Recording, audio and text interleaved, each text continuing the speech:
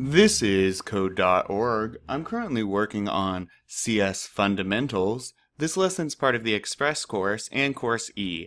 It is Lesson 21 in the Express course and Lesson 16 in Course E. Functions with the Harvester, Puzzle 4.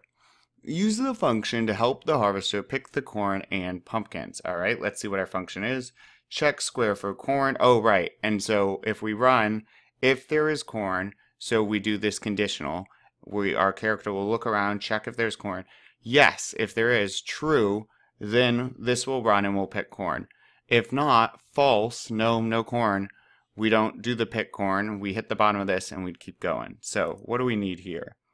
Well, I need to go forward. Hmm. This one looks tricky because we've been using a loop to get to the pumpkin. Well, how many?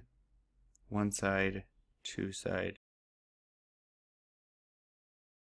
I have an idea. What if we do repeat until pumpkin? And then while there's path ahead. Perfect. So while there is path ahead, we want to keep walking. So first I want to get around this, and then I can worry about grabbing the fruit. Repeat, while there's path ahead, move forward. If not, looks like we'd want to turn left.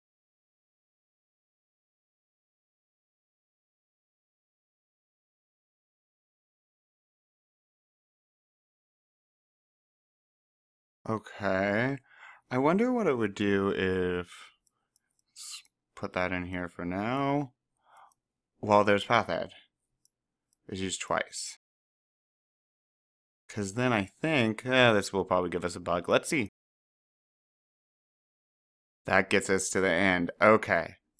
Great. So what happens there is while there's path ahead, so immediately I say, yep, path ahead, and I start moving. While path ahead, well, immediately I say, yep, there's path ahead, and then I dive into this and say, well, path ahead, move forward.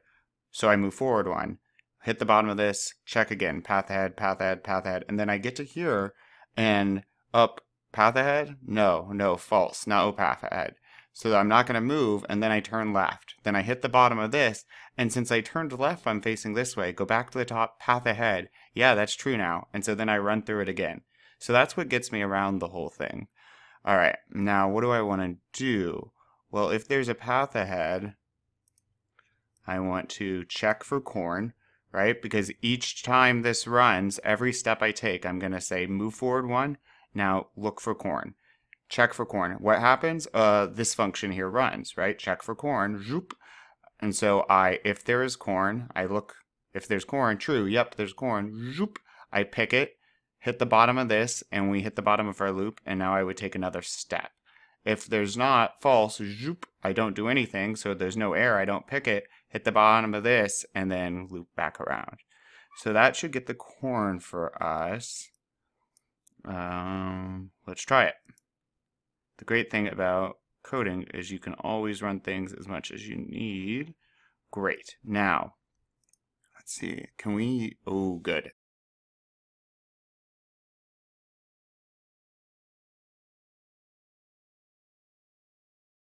After we run the check square for corn function, I'm going to check if there's a pumpkin on each step. And that way we won't miss any pumpkins. And so, while path ahead, yep, path ahead. So I do while path ahead, I move forward one, I check for corn. If there's corn, I pick it. Then I check for a pumpkin. If there's a pumpkin, I pick it.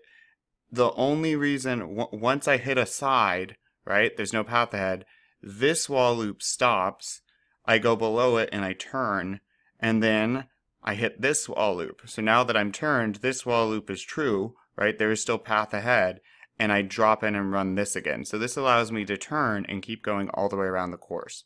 Let's try this.